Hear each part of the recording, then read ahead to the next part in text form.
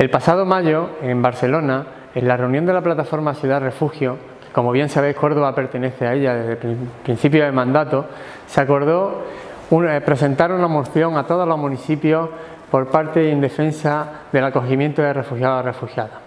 preveyendo que, que la, la cuota acogida que finalizaba el 26 de septiembre por parte de nuestro gobierno no se iba a cumplir. Nuestra cuota, como bien sabéis, como país de la Unión Europea, era de 17.337 personas. Bueno, a fecha, de, a fecha de 26 de septiembre, solo nuestro gobierno ha acogido a 1.983 personas,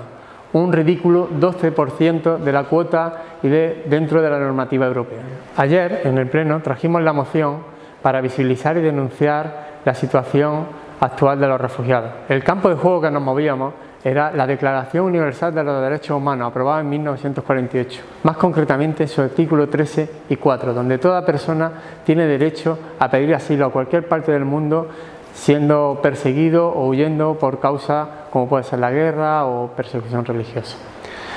Eh, afortunadamente, esta moción salió adelante prácticamente con la unanimidad de los grupos políticos, a excepción del Partido Popular, que no solo mostró nuevamente su cara más insolidaria,